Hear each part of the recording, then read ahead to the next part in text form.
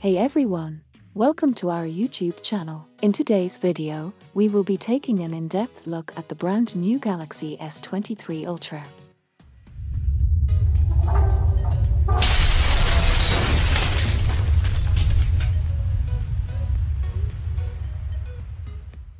Do you know what the best thing about this phone is? The new Galaxy S23 Ultra and its little brothers it's not the upgraded camera, the better selfie, or the slight better battery life. It is the fact that this uses a Snapdragon 8 Gen 2 everywhere. Here in the UK and in Europe and other places. We've always had Samsung's Exynos chips, which have been fine, we've always felt a little shot changed. I'm happy to report everywhere we get Snapdragon with the Gen 2. So this is the S23 Ultra isn't any good. Is it worth upgrading to? Well, it all depends on what phone you're using right now and whether you have a cool one, £250 laying about or whatever frightening monthly payments this will go for. But if you are doing upgrade, you're probably not going to be disappointed. The S23 Ultra not only packs in the new 8 Gen 2 chip, but we also get a new 200 megapixel main camera with a new sensor and the promise of much improved low-light photos and video. The selfie has been upgraded as well, although actually it's gone down in megapixels, but it should actually be a step up. And in fact, all three S23 phones share the exact same 12 megapixel selfie camera, and they all benefit from the smarter processing we get with the new chip. The design has been slightly tweaked, although you'd be hard-pressed to notice. One little change is that the curved edge on the screen is now less curved, or at least the curve doesn't start until closer to the edge, which I think is a smart design because you get a little bit more usable space before you fall off the edge, so to speak. Which is particularly helpful if you're drawing with the S Pen. Also, it might just be me, but it feels even more boxy. I mean, the Ultra is just the new note in all but name with the squared off corners, the S Pen the best specs, and some people love this design, but it is big, especially if you put a case on it. And depending on how you hold it, I find the corners can jab into my hand a little bit. I prefer the rounded edges of the regular S23 and the plus the S23s also use Gorilla Glass Victus 2 on the front and back, promising better long-term durability and also using more sustainable materials. And of course, no new phone launch would be complete without a couple of new colors. So, design-wise, not much has changed really, to the point where this is actually the old one. Same S Pen stereo speakers, same dual SIM, although no micro SD card support. It's all very familiar and it may be a little bit controversial, but I think if Apple get a bunch of flack for not really changing the design significantly, I feel like Samsung should maybe get that as well. Although the ultra smaller brothers, the regular S23 and the Plus, have had a bigger design revamp, dropping the camera module, leaving just the lenses like the Ultra. So there's definitely more design continuity now between the three. The screen hasn't really changed either, or at least not as far as you'd be able to tell. It's still rocking the big and still very lovely 6.8-inch Quad HD 120Hz AMOLED with the same and still impressive 1750 nit peak brightness, which is great, but it doesn't quite match the 2000 nits you can get on the iPhone 14 Pro series. However, as someone who uses the Pro and Pro Max regularly, I can tell you that 2000 nits only lasts for like 10 seconds before it overheats and starts getting dimmer. So in practice there really isn't going to be that much between them. The only changes this year is the use of LTP3 tech, so the dynamic 1 to 120 Hz refresh is a little bit quicker and more efficient, saving a bit of battery.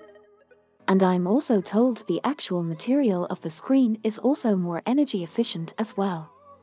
I am a little bit disappointed that we still don't get any Dolby Vision HDR support on the S23s. Some rival phones are offering it, although I can't really talk about that just yet. Fair enough, it's a Samsung device, and like their TVs, which also don't support W Vision, it's kind of to be expected.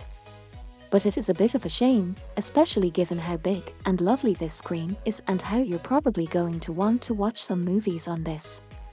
let's talk about battery life. The Ultra sticks with the same 5000 mAh cell, which is absolutely fine and not really surprising given the constraints of having to leave room for the S Pen inside. And I would be surprised if the S20 Ultra didn't last a little bit longer than before, thanks to the more efficient screen in the 8 Gen 2 chip. But I'll test this properly in my full review. Another year goes by and there is still no change to charging. The S23 supports 25 watts and the Plus and the Ultra up to 45 watts. Although of course we do get wireless charging and reverse, which is nice, but I would like to see a bit of an upgrade in terms of charging speed. However, where the S20 Ultra is definitely not lagging behind is in terms of performance and the camera LPDDR5X RAM, either 8 or 12 gigs of the stuff, plus the faster UFS for storage with 256 and 512 gig and 1 TB options. Now, I haven't had a chance to benchmark this just yet, and I don't know why I'm holding that because it's the old one. But with my experience of other 8 Gen 2 powered phones, I can tell you it is actually a significant upgrade in terms of performance, energy efficiency, battery has been better so far, and also the camera. You can expect to max out Genshin Impact and never drop below 60, although at this level it becomes more about sustained performance. The only surprise is that the new chip supports Wi-Fi 7, but the new phones don't. Samsung's disabled it, or at least for now, possibly we'll see it on the new Galaxy Fold 5 later in the year. And to be fair, there are only a handful of 7 routers out there anyway, so it's really on the sort of cutting edge of tech. And finally, let's talk about this camera because this is what I'm most excited about with the Ultra. And while on the outside it's a familiar quad lens setup with the main ultra-wide and there's two telephoto cameras for some hilarious and slightly creepy results at up to 100 times zoom. But what is different this year is the main camera has a new 200 megapixel resolution. Clearly 108 megapixels last year was just not enough. And now with pixel binning, which combines 16 pixels into one, we end up with a sharper and less noisy 12 megapixel file photo. But yes, you can shoot in the full resolution if you really want to, but I wouldn't recommend it as you'll miss out on a lot of the processing. I also really appreciate we get four years of Android updates with Samsung phones and of course the S23 runs the latest One UI 5.1 on top of Android 13, which introduces a couple of new mode and routine options which I'll play with, but there's nothing significantly new here. No complaints though mid-store fast there's an absolute ton of features from the sidebar to Windows, link to DeX, to all the S Pen extras.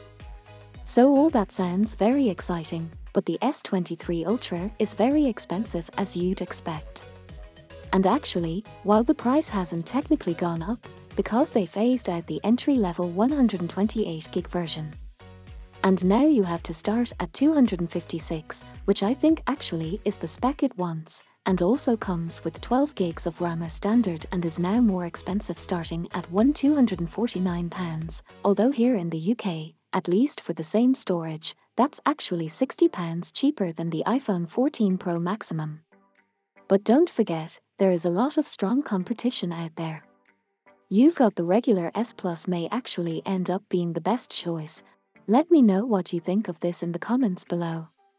If you've got any questions for my full review and big comparisons, which are coming very soon. Also, let me know, and I'll see you next time right here on the Tech Chap. Oh, and don't forget to subscribe.